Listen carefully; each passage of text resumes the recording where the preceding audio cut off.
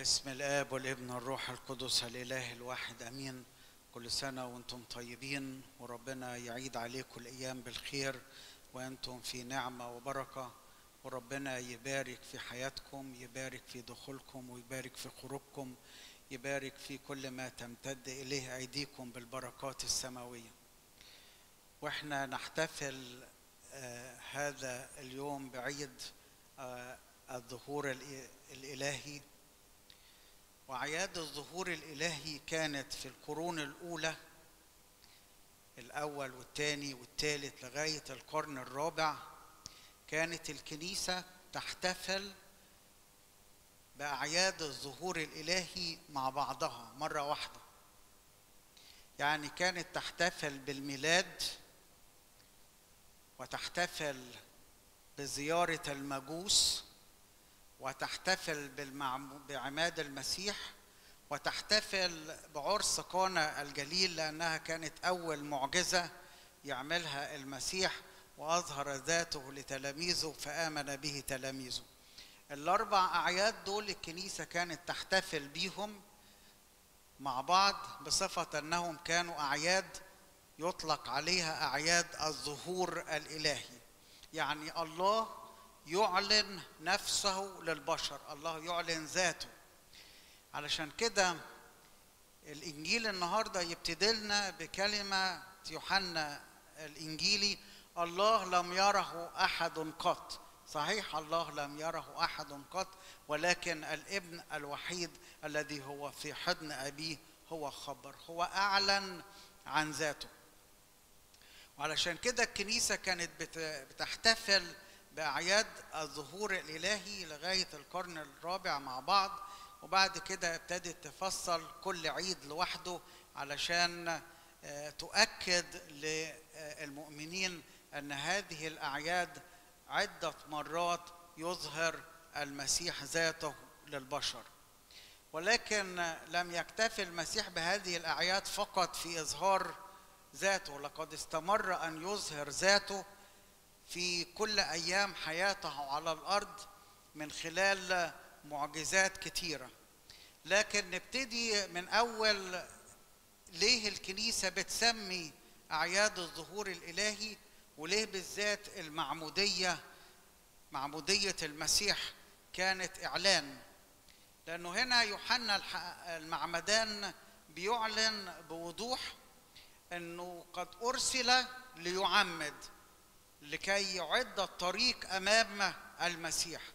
وده حسب النبوة اللي اتقالت عنه قبل ميلاده وأيضا بحسب إعلانه هو شخصيا إنه الذي أرسله ليعمد علشان معمودية التوبة.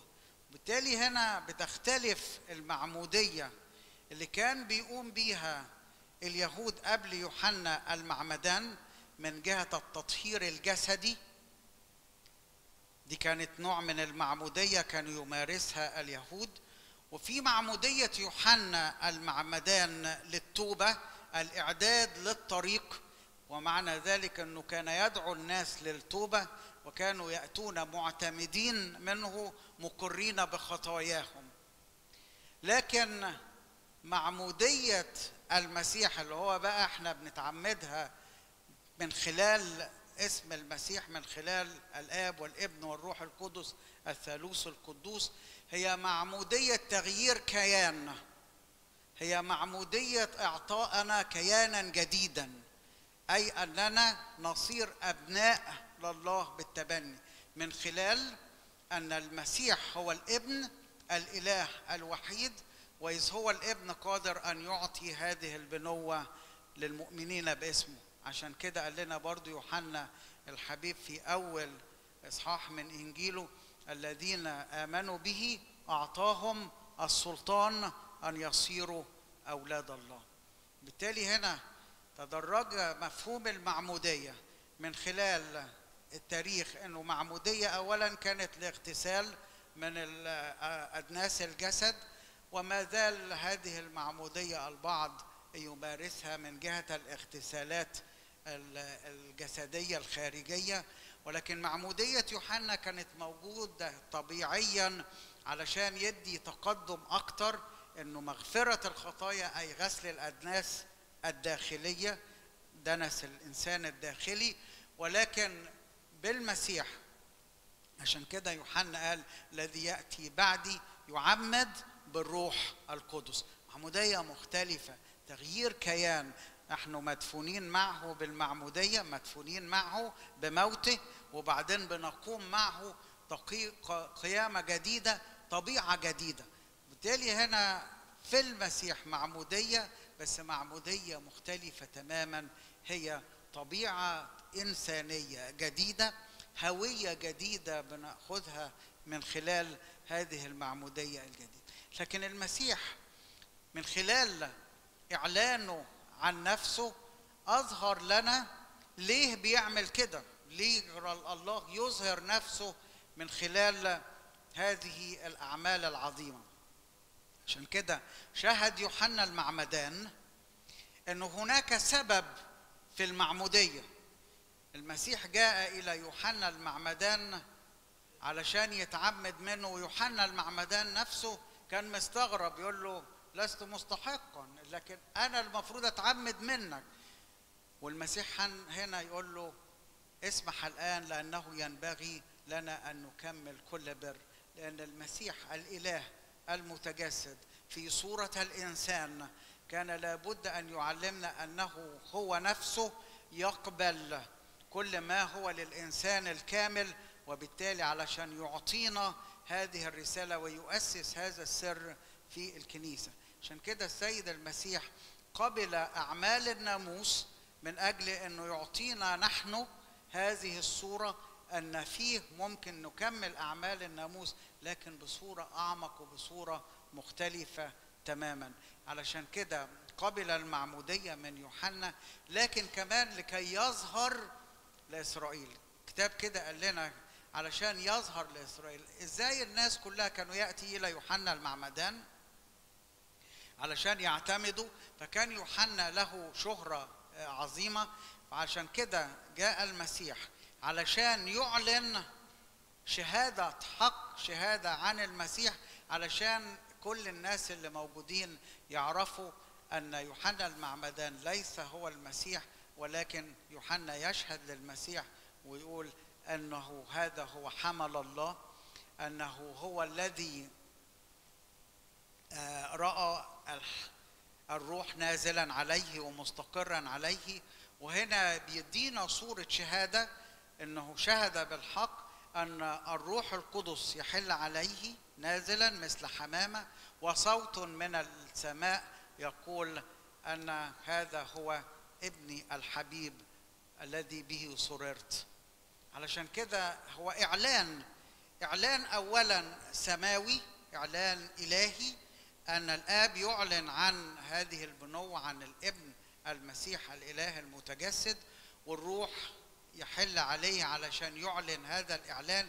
يعني معنى كده أن الثالوث القدوس بيعلن صراحة في إرادة صالحة هذا التجسد أن هذا الإنسان يسوع الذي هو في الماء هو هو نفسه الإله الابن الوحيد. الذي قبل كل الظهور. وبالتالي هنا هي شهادة بيعلنها الله للبشر من أجل أن إحنا نتعلم هذه الشهادة. وبالتالي هنا ربنا لما بيجوا بيعلن هذه الشهادة أيضا يقول لنا السبب. إيه السبب هنا؟ علشان تؤمنوا. تؤمنوا أن هذا هو ابن الله. ويوحنا يكمل رسالته لتؤمنوا أن هذا هو ابن الله عشان الذي يؤمن ينال خلاصا ينال حياة أبدية. الذي لا يؤمن لا يكون له حياة أبدية. عشان كده نفس يوحنا الحبيب بيكرر في الرسالة بتاعته علشان تعلمنا أن من له الابن له الحياة. وعشان كده هذا هو إيماننا أن من خلال التجسد صارت لنا حياة جديدة وبالتالي بيعطينا طبيعة جديدة بيعطينا فكر جديد بيعطينا استنارة. عشان كده كانت المعمودية أيضا هي فكر استنارة إعلان عن طبيعة المسيح اللي بيدينا أيضا من خلال هذه الطبيعة مجموعة من البركات اللي من خلال هذه البركات يحيا الإنسان علشان يكون له حياة أبدية. فأول بركة بيديها لنا هي بركة البنوة. أننا في المسيح أبناء. تخيل بقى إن هذه البنوة بتعطيك ميراثا أبدي. أنت من خلال هذه البنوة اللي خدتها من خلال عمل المسيح الخلاصي من من خلال تدبير الخلاص بتنال بنوة. أنت الآن انظروا أيها الأحباء نحن الآن أولاد الله. وان كنا ابناء زي ما قال بولس الرسول كنا ابناء إيه النتيجة بتاعت هذه البنوة؟ نحن ورثة. نحن ورثة الابن وارث. نحن ورثة ورثة الملكوت وارثين مع المسيح. فعشان كده خلي بالك إحنا لما نحتفل النهارده بمعمودية المسيح بإعلان الظهور الإلهي نحن نحتفل أيضا ببنوتنا للمسيح ببنوتنا لله بإرثنا السماوي. لنا ميراثا أبدي محفوظ لكم غير مضمحل. ما حدش يقدر ياخده منك. لك ميراث أبدي. لما تعرف إن ليك ميراث أبدي بكل تأكيد هتخلي بالك إن ما حدش ياخد ميراثك منك. حدش ياخد هذا الميراث ابدا منك. أوعى تخلي العالم ولا شهوات العالم ولا الأفكار ولا الناس ولا خليقة أخرى ولا مستقبلة ولا أي حاجة زي ما قال بولس الرسول. تفصلنا عن محبة الله التي في المسيح يسوع لأننا لنا ميراث أبدي. خلي بالك من هذا الميراث.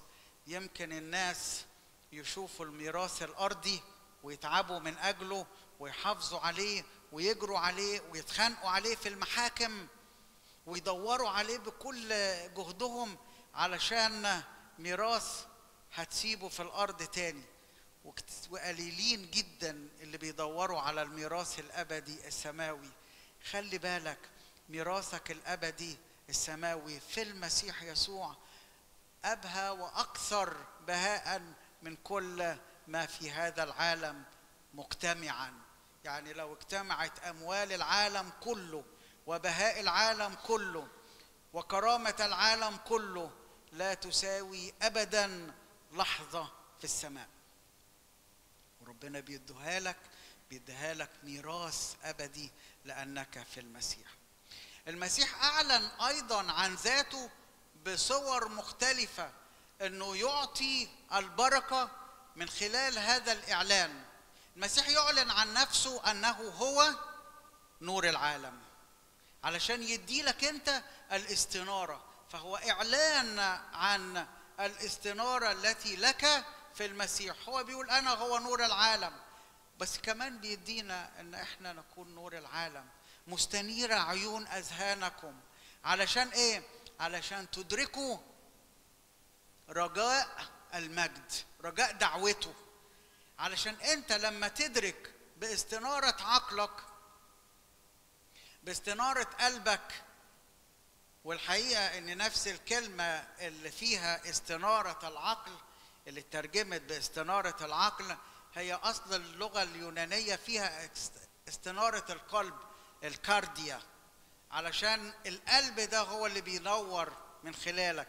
علاقة حقيقية بالكيان الإنساني الداخلي أن تستنير عيون أذهانكم. عشان نفهم هنفهم إيه في رجاء دعوة.